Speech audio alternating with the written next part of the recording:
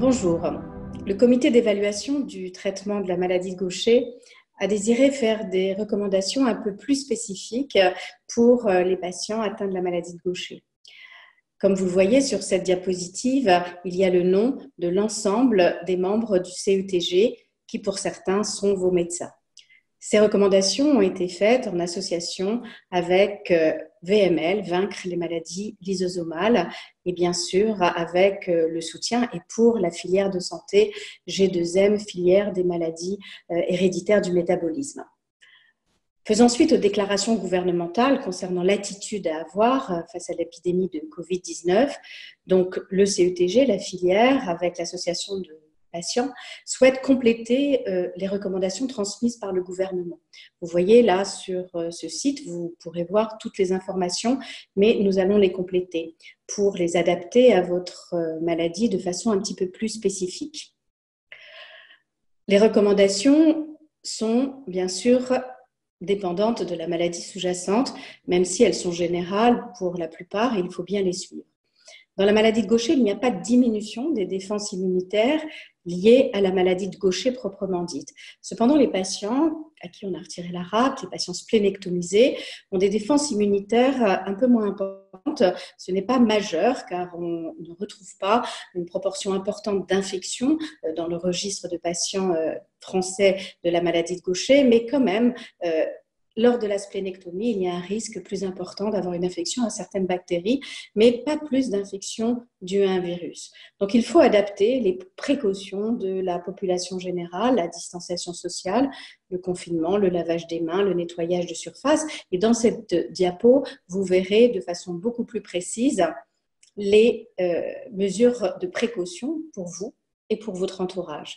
Il faut limiter ses déplacements, éviter les rassemblements, éviter les lieux confinés, préférer les lieux bien ventilés, se laver très régulièrement les mains, tousser ou éternuer dans son coude et pas dans sa main, saluer sans se serrer la main, éviter les embrassades, ne pas s'embrasser, utiliser des mouchoirs à usage unique et les jeter après usage, éviter de toucher votre visage, votre bouche avec les mains, car sur les surfaces, le virus peut persister euh, plusieurs heures, on le sait maintenant, et porter un masque uniquement en cas de symptômes respiratoires. En l'absence de symptômes, le port du masque n'est pas nécessaire.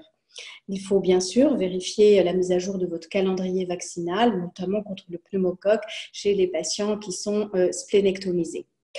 Vous voyez que ces euh, mesures changent de jour en jour, puisque d'un confinement modéré, on est passé maintenant à un confinement plus important le 29, 21 mars 2019, et il est probable que les mesures soient plus importantes. Et de toute façon, même au sein d'une famille, s'il y a des déplacements, des personnes qui vont au travail, il est aussi indiqué de suivre ces règles de distanciation sociale et euh, de ne pas euh, s'embrasser et de faire toutes les manœuvres qu'on vous a indiquées lors de la précédente diapositive. Les patients qui sont les plus à risque de complications, euh, euh, s'ils font une infection à Covid-19, sont les patients âgés euh, de plus de 70 ans.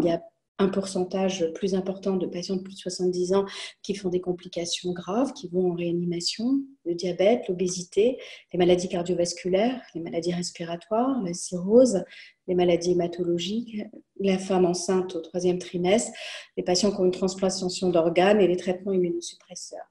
Enfin, la maladie de Gaucher est une maladie de toute une vie et on peut avoir des maladies associées. C'est ce qu'on appelle les comorbidités. On peut avoir une maladie de Gaucher, une obésité, une maladie de Gaucher et un diabète. Et c'est pour ça que chaque cas est particulier. Et euh, bien sûr, un entretien avec euh, votre médecin est indispensable. Pour ce qu'il est des traitements, la disponibilité de traitements de la maladie de Gaucher, les enzymothérapies et les inhibiteurs de substrat. Eh bien, les laboratoires pharmaceutiques nous ont garanti à l'association de patients VML et euh, au CETG, au centre de référence et à la filière, ils nous ont garanti le bon approvisionnement de leur spécialité thérapeutique et l'accessibilité des traitements. Euh, normalement, est assurée par les pharmacies. Donc, il ne devrait pas y avoir de problème pour avoir accès au traitement. Certains médecins vont ont déjà proposé de modifier temporairement les conditions d'administration des enzymothérapies. Euh, pourquoi? Eh bien, euh, actuellement, euh, vous savez que les services sont pleins, sont pleins de patients qui sont infectés par le Covid-19. Et donc, bien sûr, on va manquer de place. Et puis aussi, on va éviter de vous faire venir à l'hôpital pour ne pas contracter la maladie lors des transports, par exemple, ou lors de contact de certains patients, même si à l'hôpital, les unités où il y a les patients sont bien différenciées par rapport aux unités où il y a des hospitalisations pour les autres patients. Mais actuellement, euh, c'est en cours, vous le voyez, d'organisation heure par heure. C'est donc euh, une décision qui peut être de suspendre les perfusions. En effet, c'est une décision privilégiée pour les patients adultes qui souffrent d'une pathologie qui a évolution lente. Quand on est traité depuis plus de 20 ans, eh bien, on peut euh, stopper euh, une ou deux perfusions. Et on l'a vu lors de la pénurie, certains patients ont stoppé les perfusions sans complications majeures. Bien sûr, il ne faut pas que ça dure. Mais on pense que l'ensemble du CETG pense que si les perfusions sont stoppées pendant quelques semaines, eh bien, ce n'est pas préjudiciable quand la maladie est stabilisée. Ça peut aussi être envisagé pour des patients pédiatriques, notamment si leur pathologie elle est euh, complètement stabilisée. Donc, il est important d'avoir euh, un lien avec votre médecin, vous l'avez en général, et qui vous explique exactement euh, son attitude face au traitement. Mais la suspension de traitement est une option qui, dans une situation de crise chez un patient qui est stabilisé, qui peut être une option décidée avec vous et votre médecin qui vous prend en charge pour la maladie de. Ensuite, il peut y avoir euh, bien sûr de grandes différences de situation dans chaque hôpital et même de jour en jour en fonction eh bien, de nombre de patients hospitalisés euh, atteints euh, de l'infection à Covid-19.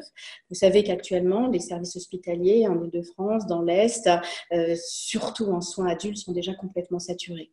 Et donc, c'est peut-être pas la peine de faire venir un patient pour une perfusion où il risque de, lors des transports, comme on l'a dit, de pouvoir attraper une infection et puis aussi, il faut privilégier euh, les hospitalisations pour les patients les plus graves. Les services peuvent voir leur nombre aussi de leur personnel. On le voit tous les jours actuellement, touchés par l'épidémie, ce qui peut limiter leur capacité d'accueil par un manque, euh, un manque d'infirmières, par exemple. Les réquisitions de lits actuellement, vous l'avez vu, sont faites au bénéfice des personnes touchées par le Covid-19. Et donc, il peut y avoir un risque pour les patients, les accompagnants, d'être infectés en se rendant à l'hôpital par la multiplication des trajets et par la nouvelle organisation. Quoi qu'il en soit, il faut vous assurer que dans la plupart des services où il n'y a pas de patients qui sont euh, Covid-19 infectés avec des manifestations respiratoires, on prend des précautions et que tout patient qui souffre d'une maladie nouvellement diagnostiquée, d'une maladie sévère ou qui a besoin euh, de poursuivre euh, son traitement, eh bien l'administration du traitement sera bien sûr une priorité. Donc, Différentes solutions peuvent être favorisées par les médecins selon les situations. Euh, lorsque les patients sont à domicile, bah, si l'hospitalisation à domicile se passe bien, si les ressources sont présentes et ne sont pas euh, dirigées vers euh, des patients qui sont affectés et qui augmentent la charge de travail de l'hospitalisation à domicile, eh bien, il n'y a aucun changement. En revanche, si l'hôpital ne peut pas vous recevoir, il peut être difficile d'avoir une organisation à domicile organisée euh, dans les jours qui viennent avec euh, la situation actuelle. Et donc, si vous êtes stabilisé, euh, soit l'organisation d'hospitalisation à domicile est possible de façon sereine, soit eh bien, on peut faire là également des subventions de traitement qui ne devraient pas durer, bien évidemment. Car, comme je vous l'ai dit, euh, la disponibilité des services d'hospitalisation à domicile euh, actuellement euh, reste à évaluer. Le personnel de soins à domicile reste également à évaluer, leur protection. Et bien sûr, il faut éviter que le personnel de soins soit un vecteur aussi de transmission du virus. Alors, je pense qu'actuellement, nous, nous sommes dans une crise. Heureusement, les patients qui ont la maladie Gaucher ont un traitement maintenant depuis plus de 20 ans. La plupart sont stabilisés ou sont très peu symptomatiques. D'autres ont des maladies associées et il est vraiment important de suivre les règles édictées par pour la population générale euh, par euh, les autorités gouvernementales et de les suivre au jour le jour. Il est important de contacter euh, votre médecin qui vous prend en charge pour la maladie de Gaucher et bien évidemment, chaque cas est tout à fait particulier. Nous restons bien sûr disponibles pour tout renseignement complémentaire et je vous souhaite à tous, à votre famille, à vos proches, beaucoup de courage dans cette situation inédite de crise. Merci. Alerte coronavirus. Si vous avez de la toux et de la fièvre, vous êtes peut-être malade. Dans ce cas, restez chez vous. Limitez les contacts avec d'autres personnes. Appelez votre médecin. La maladie guérit en général en quelques jours avec du repos, mais si les signes s'aggravent, que vous avez des difficultés importantes à respirer et que vous êtes essoufflé, appelez le 15 immédiatement. Plus d'informations sur gouvernement.fr. Ceci est un message du ministère chargé de la Santé et de Santé publique France.